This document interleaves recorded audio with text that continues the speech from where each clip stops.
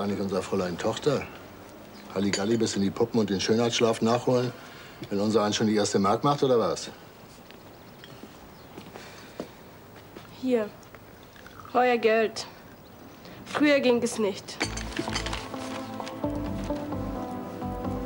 Paula, mal ganz ehrlich. Woher hast du denn das Geld? Hm? Hab ich doch gestern schon gesagt. Felix Oma hat es ausgelegt. Okay. Schwamm drüber. Aber das nächste Mal sprichst du mit uns, wenn du Geldsorgen hast. Ist das klar? Paula, setz dich mal erst mal hm? und iss was. Klar doch. Warum bringst du das Frühstück nicht gleich ans Bett? Ich werde der Schule mitteilen, dass die Dame heute unpässlich ist. Du schnappst dir jetzt ein Brötchen und deine Tasche und in fünf Minuten will ich nur noch deine Rücklichter sehen. Ist das klar?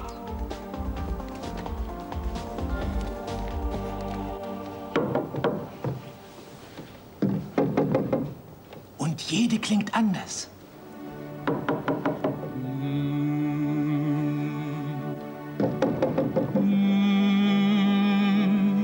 Ist das nicht irre?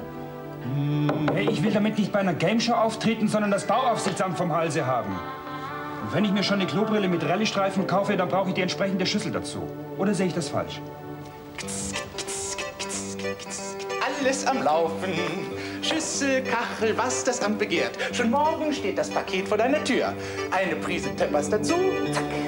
Fertig ist das sanitäre Wunder. Ja, aber der Raum ist doch noch gar nicht abgeteilt. Wie soll denn das... Peppers? Natürlich, Herr Doktor. Was meinen Sie? An nichts anderes, denke ich. Ja. Ja, aber eine Arztpraxis ist schließlich keine Frittenboot, ne? Ich bin in fünf Minuten da. Ja? Tschö. Auch so ein Fall. Das Problem bei euch Jungunternehmern ist die Ungeduld. Dabei will ich doch nur, dass wirklich Töppers drin ist, wo Töppers draufsteht. So. Und jetzt wird erst der Doc Eschenbach verarztet und dann mache ich aus deinem Örtchen einen Fünf-Sterne-Lokus. Alles klar?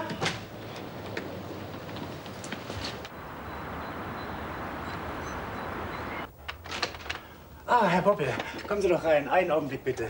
Bin gleich soweit. Bitte.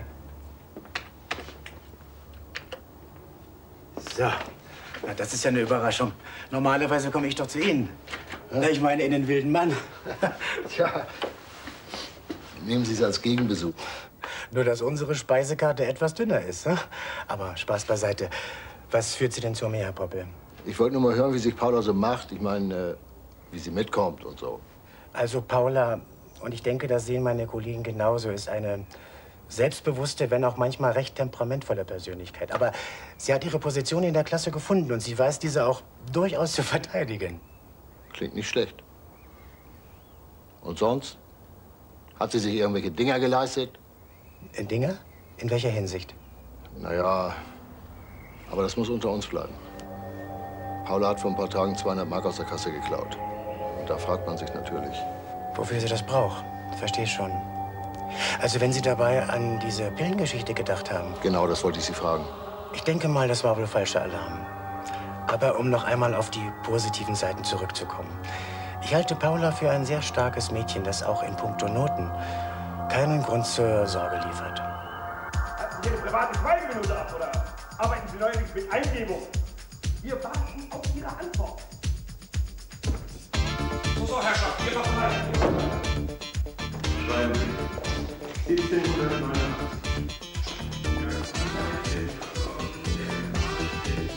pack das nicht mehr lange.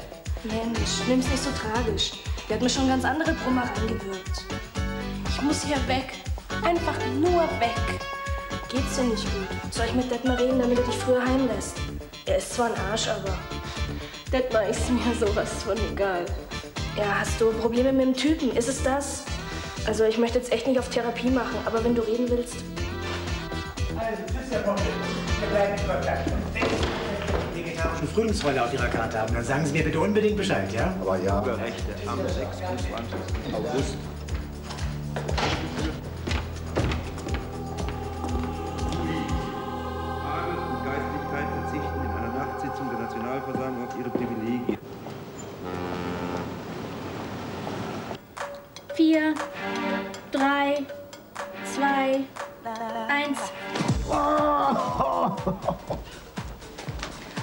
Schon, Marco.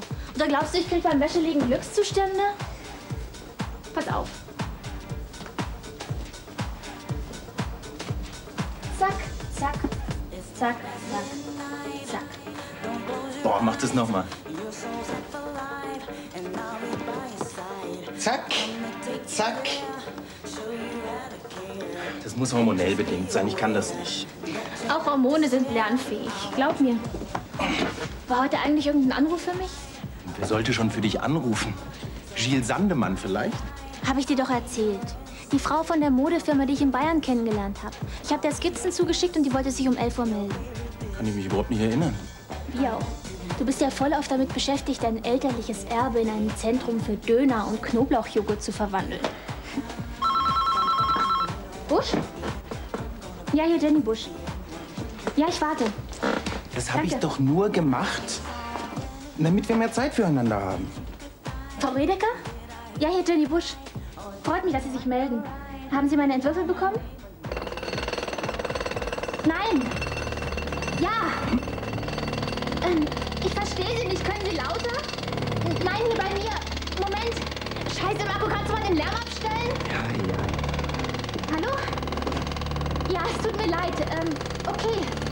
Ja, gleich. Ich rufe sofort zurück. So Mist ausgerechnet jetzt. Durch zweite Wurzel aus x minus 1 plus 2 geteilt durch 3. Klammer auf. x minus 1. x minus 1. Ich glaube, selbst Lottozahlen klingen bei dir erotisch. Du hast vielleicht Nerven. Den Schreck, den du mir eben eingejagt hast, packt keine Kurvenfunktion. Also nochmal. Zweite Wurzel aus x minus 1 plus 2. Willst du denn nicht wissen, warum ich hier bin? Mann, ich komme immer raus. Mich interessiert vor allen Dingen, warum sich ständig mein zweites X hier verdrückt. Ach, vergiss den ganzen Schrott. Den kannst du dir bald an die Wand nageln. Ich habe zentrale Neuigkeiten für unsere gemeinsame Zukunft.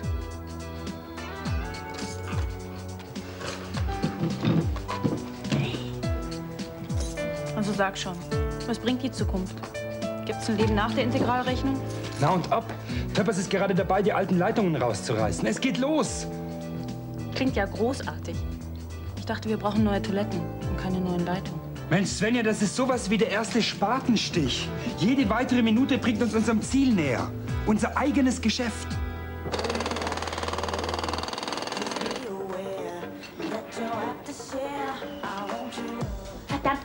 So einen Lärm machen? Ach, das machen sie ja nicht die ganze Zeit. Die mussten nur gerade die Rohre freilegen.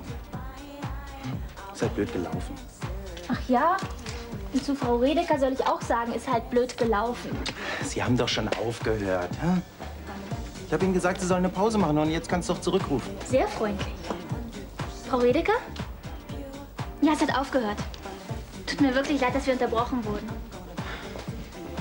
Echt? Das ist ja toll. Ja, ja. Nein, kein Problem. Nach München? Nein, nein, mein, mein Sohn ist bestens versorgt. Okay, bis dann. Tschüss. Was ist denn mit München? Willst du jetzt auf Lederhosen umschulen oder was? Ihr haben meine Sachen gefallen. Und das ist eine erstklassige Adresse, nicht irgend so eine Klitsche mit zwei geleasten Nähmaschinen. In drei Tagen soll ich bei ihr auf der Matte stehen mit neuen Entwürfen für Wintermode. Völlig bekloppt sein, das schaffe ich nie. Ach, jetzt mach dich doch nicht verrückt. Ich kenne doch das Spiel. Die Truller sagt drei Tage und rechnet mit sechs. Hm. Wegen so ein paar Skihasalfummel. Musst du jetzt nicht in Panik machen. Das ist mal wieder typisch. Einerseits ganz toll, dass Frauchen was um die Ohren hat, aber eigentlich findest du meinen Job albern. Wenn ich gewusst hätte, dass du heute den Goldwaage machst, natürlich akzeptiere ich. Ah, ist doch wahr. Ich stelle mich doch auch nicht hin und erzähle anderen, dass mein Mann irgendwelche Yuppie-Schleudern an Möchtegern-Aussteller verscherbelt. Ach komm, Jenny. So war's doch nicht gemeint. Dann nimm mich gefälligst auch ernst. Schon gut, schon gut. Kümmer du dich um deine Winterkollektion und ich falte Maxis Klamotten auf Bierdeckelformat. Hey Marco, Entschuldige. Du weißt doch, dass ich Wert auf deine Meinung lege. Das hat sich aber gerade nicht so angehört. Ja, eben gerade weil ich so viel Wert drauf lege, macht's mir was aus, wenn du es so, so locker nimmst. Hey, ich brauch dich doch.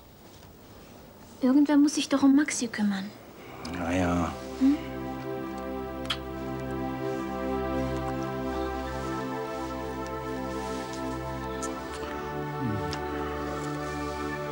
Du meinst wirklich, wir sollten jetzt am Nachmittag?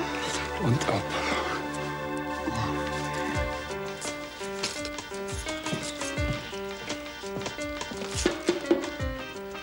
Entschuldigung, aber die Tür war offen.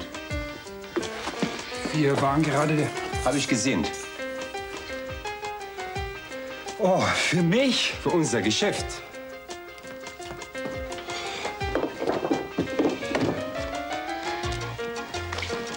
Wie bei meinem Freund Osman in der Südstadt. Mhm. Habe ich dich mal mitgenommen zu ihm? Genauso sollten wir das auch machen. Oder hier. Sag mir, dass das nur Spaß ist. Silo, diese Wandteppiche sollten wir auch für unser Lokal nehmen. Unbedingt. Ich höre immer unser Lokal. Ja, weißt du, wenn es bei uns um Familie geht, dann, dann heißt es immer unser. Unser Hof, unser Auto, unser. Ist dir das noch nie aufgefallen? Dann gib mir mal unser Mathebuch. Ich mache nebenan weiter. Ja.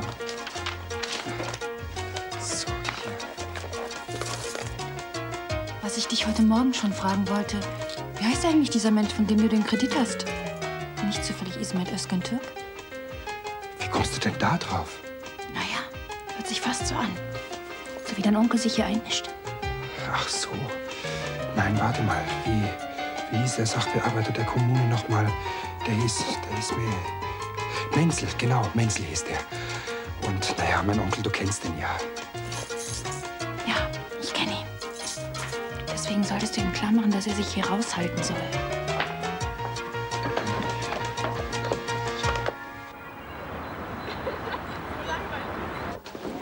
Hey, ich bin's. Na, alles im grünen Bereich? Oder sind deine Alten immer noch stinkig? Ich gebe jetzt zu, dass ich kohlemäßig einen kleinen Hänger hatte. Aber am Samstag ist die Lottoziehung. Bitte, Felix. Nicht mit dieser Tür, ja? Okay, ganz ernst. Ich werde mir bei Töppers einen Job suchen. Wir kriegen die 1,5 schon zusammen. Kleinvieh macht auch Mist. Heiner hat, was er wollte. Und jetzt lass mich endlich in Ruhe. Das heißt, er hat, was er wollte. Hast du eine Autobombe? Oder hast... Bist du mit ihm in die Kiste? Ist es das? Sag endlich! Sag lieber nichts mehr. Hey, der lässt doch 1,5 nicht sausen wegen deinen schönen braunen Augen. Wie oft durfte er dich denn bumsen?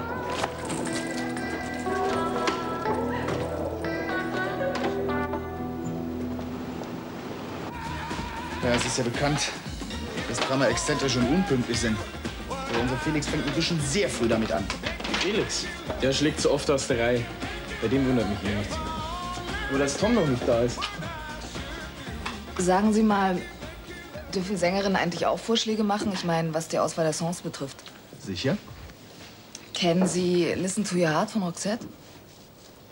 Listen to your heart. When it's calling for you, listen to your heart. There's nothing else you can do.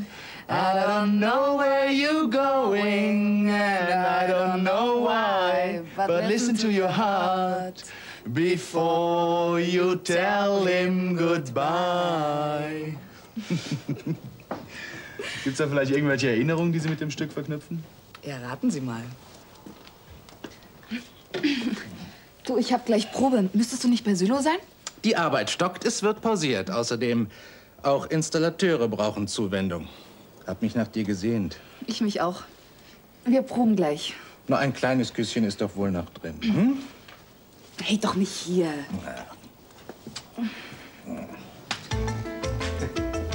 Ach, äh, falls Sylo nach mir fragen sollte, ich bin nur mal kurz in der Werkstatt. Komm aber gleich wieder. Oder hast du vielleicht ein paar Dichtungsringe im Eisfach? Hau rein, Josef. Ich komme nachher noch mal runter und gebe einen aus. Ne? Ist ein guter Vorschlag. Na, Alter, wird langsam Zeit. Kann schließlich als Musiker meinen Groove nicht ewig konservieren.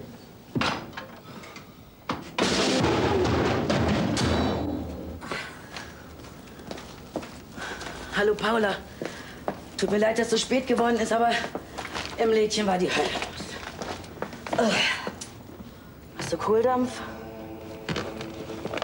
Oh Mist. Die Eier vergessen. Na, egal. Dafür hast du freie Auswahl. Im Kühlschrank sind noch Würstchen. Ich kann dir auch Macaroni machen. Ich habe keinen Hunger. Sagst du jetzt. Aber weißt du was? Ich mache uns Empanadas. Blätterteig ist noch da. Willst du? Wenn du willst.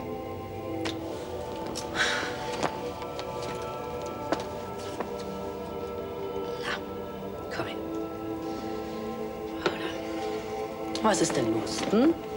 Mir kannst du doch alles sagen. Hast du eine Arbeit vergeigt? Und wenn schon. Nein. Ist es wegen Heinz? Du darfst ihm doch seine Sprüche nicht übernehmen. Du kennst ihn doch inzwischen. Außen harte Schale, innen weich wie eine Quarktasche. Und mit seinen alten Zeugnissen wird er dir sicher nicht tun. Also ich dir helfen kann. Ich kann mir schon selbst helfen.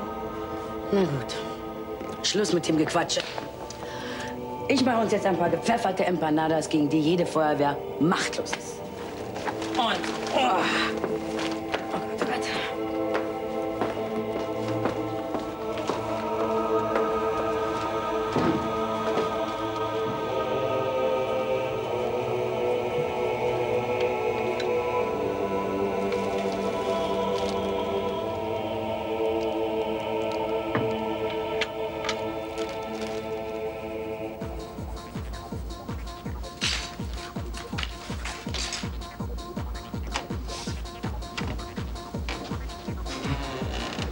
Du auch Schneemänner anziehen? Natürlich nicht, du Blödmann. Das mache ich nur zwischendurch zur Einstimmung. Aber davon verstehst du nichts. Entschuldige. Schon gut. Du hast ja recht. Aber von Pausen verstehe ich was. Das ist lieb von dir. Stell schon mal hin. Ich mache noch die, eine Zeichnung fertig. Kommt gar nicht in Frage. Zu einer richtigen Pause gehört nämlich auch Entspannung. Sag mal, hast du nichts zu tun oder was? Du weißt doch, dass ich Termine habe. Solche Chancen gibt's nicht im Dutzend, Marco. Das gefällt uns. Und was ist jetzt mit dem Tee? Tja, weißt du, der muss ja bekanntlich wahnsinnig lange ziehen.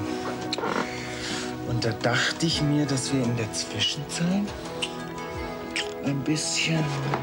Das für was? Das für was? Sag mal, warum entwirfst du eigentlich keine Dessous-Kollektion? weißt du, diese Schneestrampler, zu denen habe ich überhaupt keinen Bezug. Aber. Aber zu Corsagen und Strapsen hast du einen. Du mieser, kleiner. Ja, heute mache ich mal eine Ausnahme. Weißt du, es gibt Momente, da muss man einfach nehmen, was man kriegt.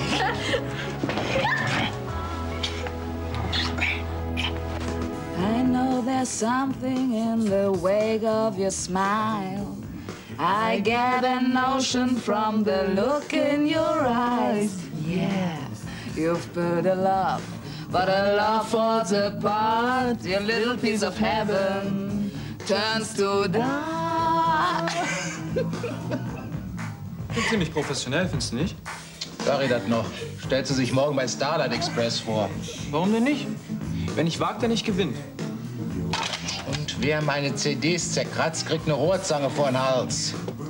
Stand das so in meinem Ausbildungsvertrag? Sinngemäß.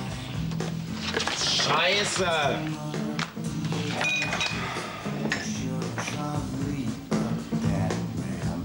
Ich glaube, da hat einer genug, ne?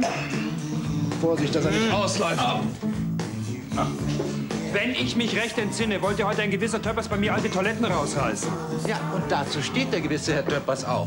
Nur kam uns da ein gewisser Herr Busch in die Quere, nicht wahr, Sascha? Ja. Er meinte, es würde gerade nicht konvenieren mit dem Lärm. Und nach dem Hausbesitzer muss man sich ja schon ein bisschen richten. Oder willst du mit deinen neuen Toiletten gleich wieder auf der Straße stehen, ne? Nein, natürlich nicht. Ganz meine Rede. Aber das wird doch rechtzeitig fertig werden, oder? Klar. No problemo für Döppers und Co. Wer was von der hohen Klempnerkunst versteht, wird mir beipflichten, dass man mit Logistik und Planung auch die kniffligsten Terminsituationen meistert. Das weiß sogar schon der Sascha, ne? Aber hallo. Wir bringen jetzt noch kurz den jungen Mann hier an die frische Luft und dann wird das alte Buschklo pulverisiert.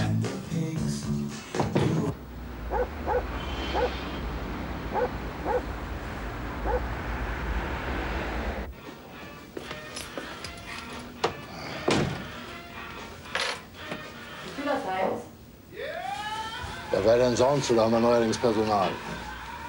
Wenn du möchtest, kann ich in der Empanade aufwärmen. Kein Hunger. Ich habe heute mit Wagner geredet. Das ist vielleicht so ein Hiopai. Paula hätte ihren Platz in der Klasse gefunden. Also die Lehrer von heute, die reden fast so einen Schuss wie Fußballtrainer.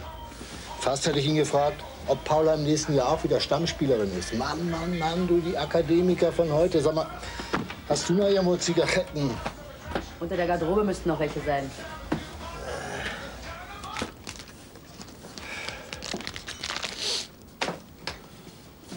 Schläft Paula schon? Kann schon sein. Sie ist schon vor Stunden in ihr Zimmer. Hat ihr Essen mitgenommen. Man kann schon sein. Sind wir jetzt eine Filiale von der Pension Sievelig oder was? Paula, schläfst du schon? Lass sie doch. Ich war dem Alter auch gern allein. Was macht sie denn da drin?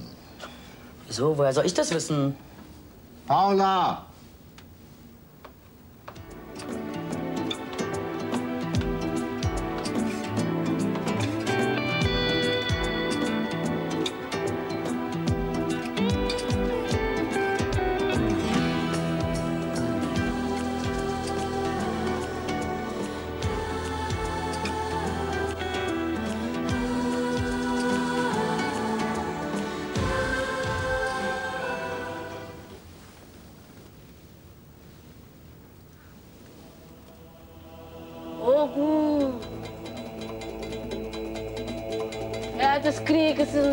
Kampfes. Ich straf Vorbeck für sein schmutziges Geschäft. Der Schuh. Göttlicher Vermittler. Schütze mich vor dämonischen Kräften.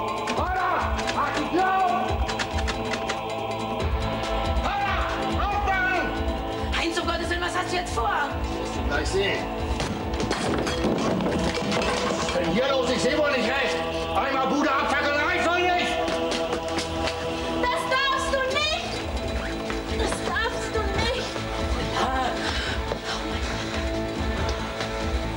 Hast du nur?